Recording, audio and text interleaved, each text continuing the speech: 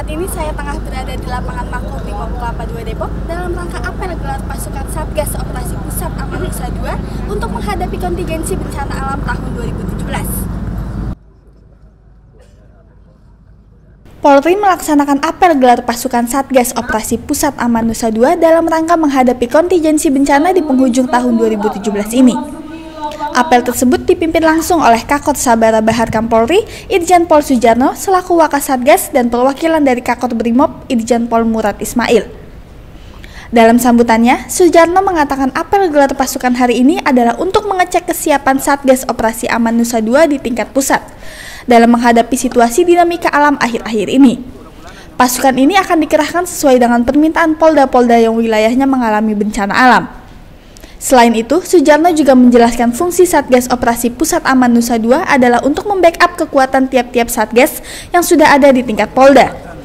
Pasukan ini dibagi menjadi lima Satgas, yaitu Satgas SAR, Satgas Lidik Sidik, Satgas Pengungsian dan Perlindungan, Satgas DVI, dan Medis serta Satgas Ban Ops.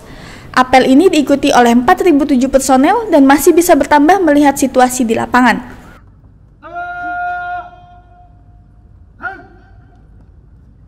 Jadi hari ini kita uh, apel kesiapan dalam rangka operasi terpusat Aman Nusa 2 tentang bencana alam. Sebetulnya ini bagian daripada rencana kontingensi yang sudah di, uh, uh, diperkirakan oleh Pak Intelkam memang rujukannya seperti disampaikan tadi rujukannya adalah perkiraan intelijen dari Pak Intelkam Polri tahun 2016 kemungkinan ada bencana di 2017 nah memang kemudian dibuat e, rencana operasi Amanusa 2 namanya bencana.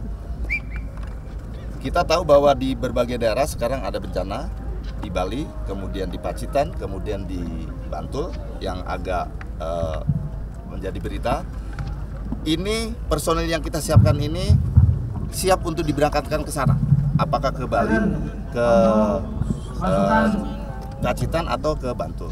Sesuai dengan permintaan dari Kapolda setempat. Karena kita nggak bisa menggeser begitu saja Kapolda setempat meminta pergeseran pasukan minta bantuan dari kita kita siapkan di sini. Tadi kita siapkan 4.007 orang dari Satgas Pus 4007 orang Satgas Pus yang kita siapkan gerakan termasuk perlengkapannya. Dari Makobrimob Kelapa 2 Depok tim liputan Tribrata TV salam Tribrata